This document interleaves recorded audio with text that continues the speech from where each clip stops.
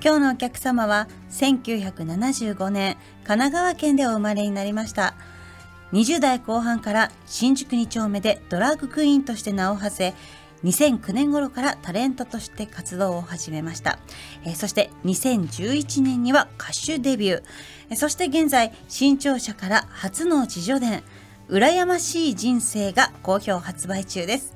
今日のゲストミッツマングローブさんです。よろしくお願いします。よろしくお願いします。ようこそいらっしゃいましたこんにちは。いご本はね読ませていただきました。ありががとうございます。素敵な笑表紙。っていいのか泣いていいのか。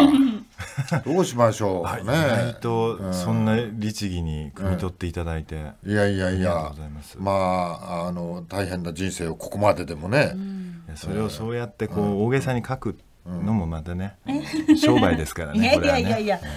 いやーでもこれでもそういうところを結構ねみんなな謎というか。だって私みたいなのがこうやってテレビだのラジオだのに出させてもらってる以上は、ある程度波乱万丈な部分をね、無理やり無理くりにでも出さないと、しこう商品価値が保てないんじゃないかっていう常にあって意外とそうでもないんですけ十どね。万丈だと思うんです本当に本当ねあなたはいいわよねなんかもう。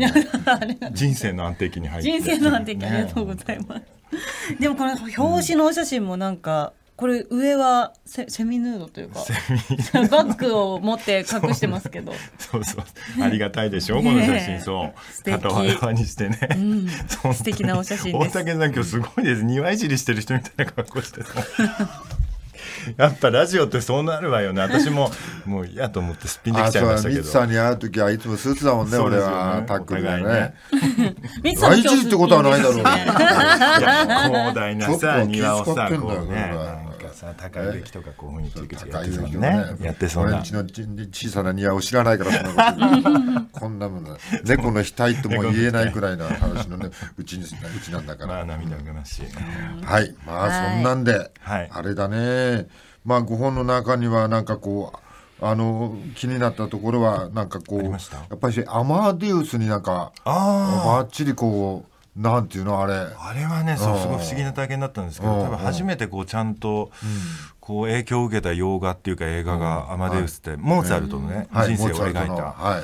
あれだったんですけどまあ結局モーツァルトって自分のこうお父さんの呪縛から逃れられなくてそれであのもう苦しんでうでこう最後バーッとおかしくなっていっちゃうっていうそういう人生を描いた映画なんですけど。あの映画すごかったよね。でも、うんあのもう天天才的ななんなんなんでもピアノで弾いちゃうみたいなとこから始まって。ね、振動で,、でそれでこうお父さんの期待を背負ってこう、なんか宮廷音楽家みたいのになるんだけどそうそうそうそうあのもう一人のイタリア人の作曲家がね、い、て、その人からずっと嫉妬されてさ、でそのこうじわじわとこう人生かけて復讐をされていくのよ、その復讐の材料に使ったのがそのお父さんの呪縛っていうものをこう幾度となくモーツァルトの前にこうちらつかせるっていうことでモーツァルトを苦しめていくんだけど、そのやっぱ父親からの期待とかっていうのは、本来こう本当に期待をされていたかどうかは別として息子の方が勝手に抱いてしまうっていうね、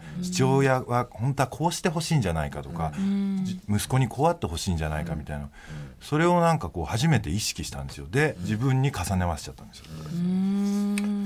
もうもうキャッチボールとか、うんそう。そういうそうそうそう。ような日曜日になったら、お父さん一緒にキャッチボールしようよとかって公園にこう、お父さんの手を引っ張ってでも連れていくような息子っていうのがやっぱり理想の息子像で、やっぱり父親もこう忙しい人でしたからたまの休みにはやっぱり息子にそうあってほしいんじゃないかなと。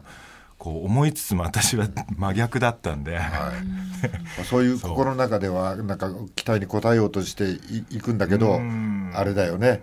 もうあのどうしてもサッカーだけは絶対ダメなんだサッカーはね そう。サッカーだけ時代的絶に対ものすごい時代に入っちゃって、日本がサッカーブームになっちゃって。キャプテン翼とかがぐわっとブームになった時代で、こういわゆる少年の夢がプロ野球選手からサッカー選手にだんだんこう変わっていくようにちょうどその過渡期で,、でやっぱり休み時間ずっとサッカーみたいなね、でサッカーやってる男子がまあこう上みたいな、そういうこう価値観が生まれた時代だったんで。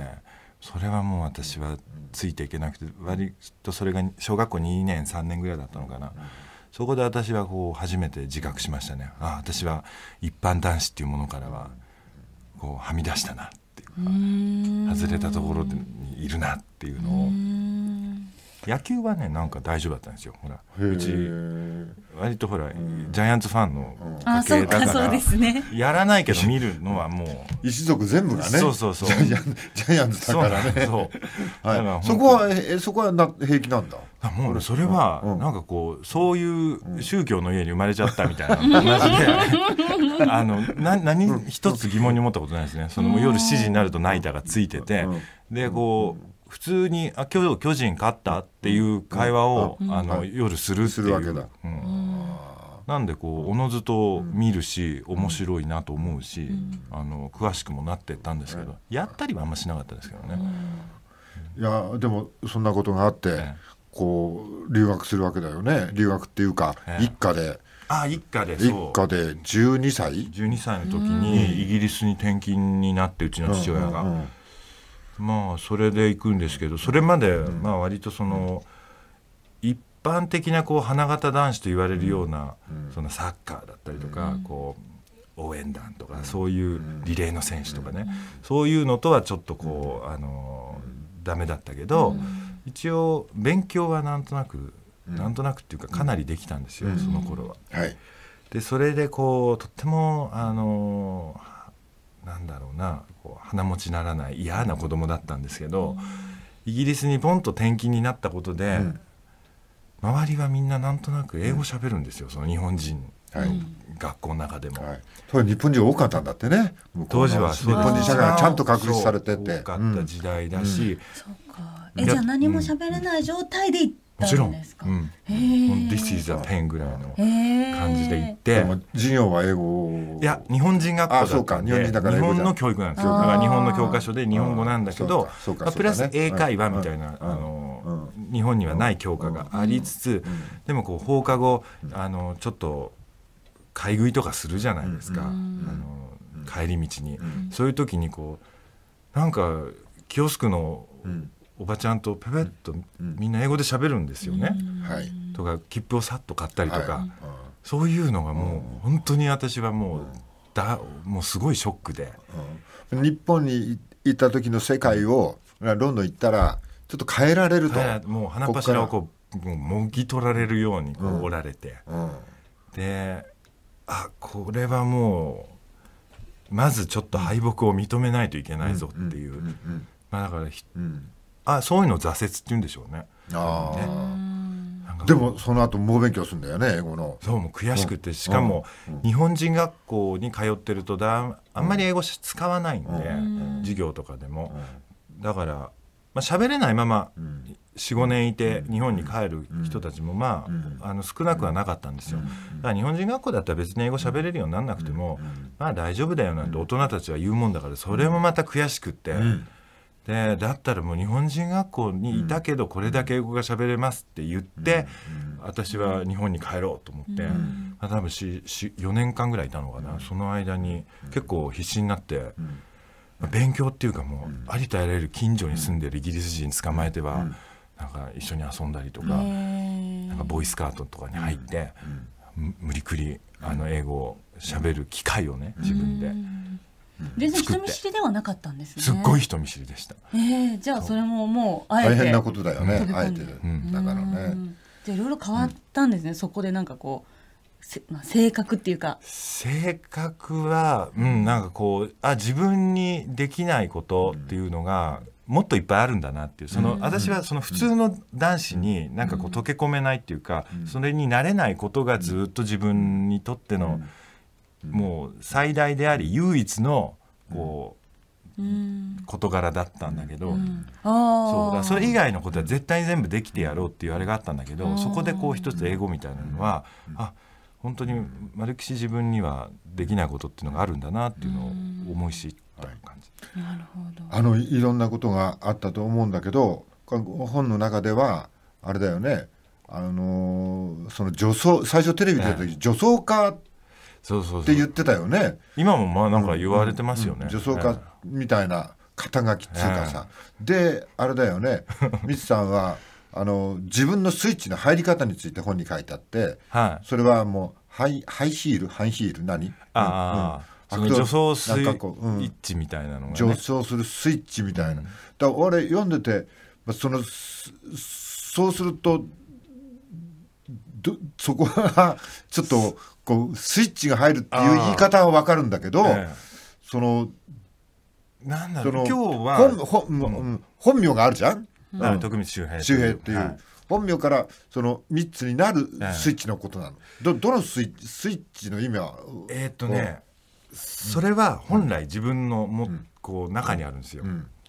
内側に。内側にあって。だから今日も別にスニーカー履いてるんですけどうん。はい。今日はもう三つマグロムのスイッチが今入ってる状態なんですね。顔もお化粧してないしうん。うん。あれだけど。うんでもそれはもう子供の時からあって例えば、うん。あの仮面ライダーになるスイッチとかあるじゃないですか、はいはいはいそれは別にこう、お面かぶんなくったって、うん自分はこう「えい変身!」ってやれば、ん。こうセンターヒーローになれるとか、そういうスイッチと一緒で自分の中にはこう、お女っていうかその女役になるスイッチっていうのがあって、でそれで自分の中で勝手にごっこ遊びをずっとしてきたんだけど、こう表面的にそれをね、あの表す時に、まあそんなスカートなんて履く機会ないじゃない、子供の時は。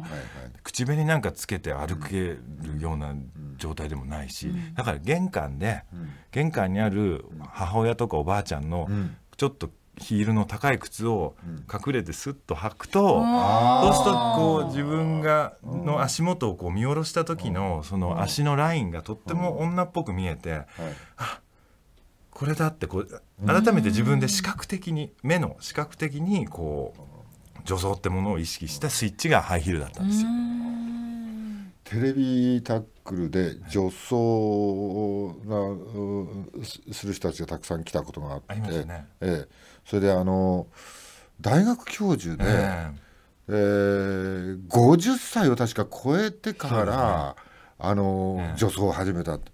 えで俺確かその人に「どうどしたらどうなった?」って聞いたらえその人が確かなんかああすっごい落ち着いたって言ったんだよね、確か。なんかとっても荒くれな方だったんですよね、昔はね。そうそうそう。うん。で、うん。本当あの熊みたいにひげ生やしてさ、いう人で、とってもこう気性の荒い人だったんだけど、そう。登山家みたいなね。そうそうそう。人だったよ、ね。若い頃はひげぼうぼうでね写真見たら、うん。だからそう、うん。まあその気づいたりとか目覚めたりっていう、まあ表現が正しいかどうかわかんないですけど、そうやってこうたどり着く時間っていうのは人それぞれで、はい。子供のうちになんとなくそういうのをもう気づいて、しかもそれを自分の中で受け入れて、それをこう表に出すっていう、その時間っていうのはもう人それぞれだと思うんですよ。なんとなく気づいてるけどこう自覚まで至らない人とか、それを自分の中で受け入れられない人っていうのもまたいて、だから分かんないですけどあの、大学教授の方っていうのは、い。やこういろいろ経て、そうんうんうん。だから50歳でだで。もさ俺思うんだけどあの人50いくつだったでしょ、それがね。すごいお綺麗になったのよ最近。ますます、ああの方？ね、この間なんかテレビで見ました。ああそう、いやだからそのなんていうのそのスイッチの入り方がその人は、大学教授をやってて、もう50いくつまで分からなかったわけじゃない。でストンともうこんなに落ち着くんだってその人が言った時に、やっぱりその自分のある場所、行く場所みたいなことが分かったと。そうですね、うん、だから、うん。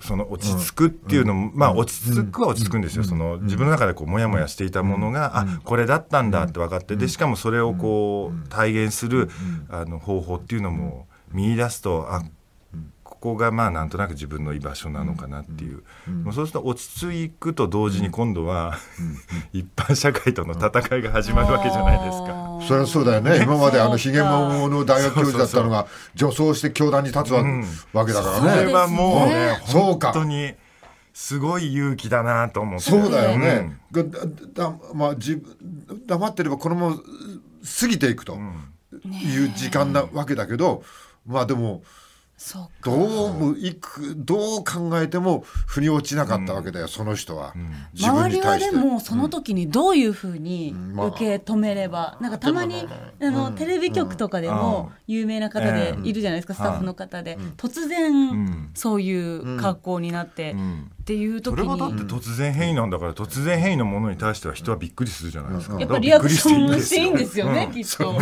うどうしたんですどうしたの？みたいなて言ってもいいんですよね。何事もなかったのにね 教授とかって難しいですよね。うん。いやでもそういうことがこうだから人それぞれなわけでしょ、でもごご本の中でミスさんは芸の中で芸の落ちこぼれって言ってるよね。この意味は、だってこうゲイっていうか、その男性同性愛というのは、はい。はい。やっぱり男性が好きな男性はいそうですね。ですから、そういう人たちがやっぱりまあ集まってるというか、そういう人たちの中の世界っていうのは、もそ,、まあ、そこが主流なわけ。主流うそれだから一般男子をさらにもっとこう、美化して妄想で、要はもうより男子男子したものにはい。対して、はい。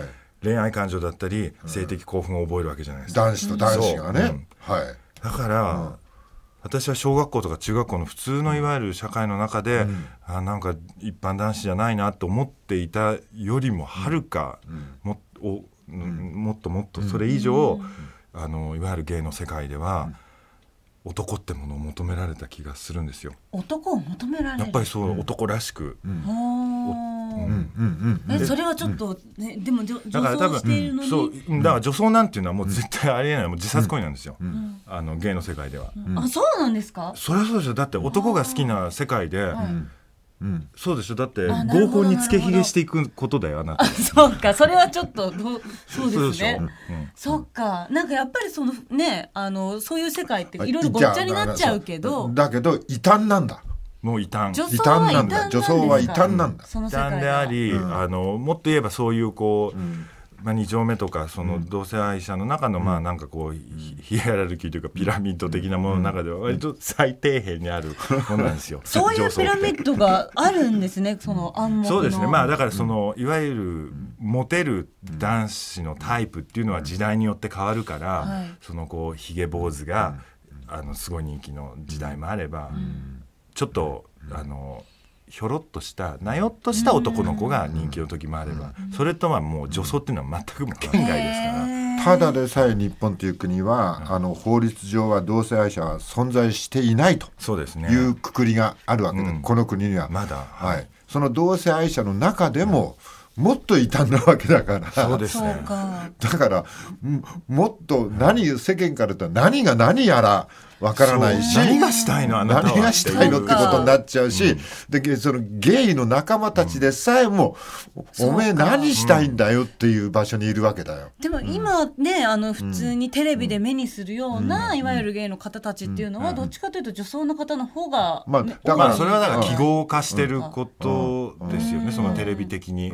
であの女装しても、あの普通にお化粧を取って男に戻ったら、いわゆるもっと普通の男の子に戻れる人も、がほとんどなんで、私みたいにもなんかどっちつかずになっちゃってる人は珍しいんですよ。そうなんですか。ええ。だからこう、私はどっちかというといわゆるニューハーフとか、あのそういうもう女性になりたい人の部類なんじゃないかってよく二丁目で言われてて、いや私はそうじゃないそうじゃない。なってい。う。でそこであの出てきたのがやっぱし女装家っていうまあ名前になっちゃう。うんだよね、テレビ的にはね。テレビ的には。そうなんですよね。うん。だからそうやって世間もなんか要するに自分のなんかあれだよね引き出しのこう分類に収めたいわけだよ。そうそうそう。分かりなんかかった気になりたいっつうか。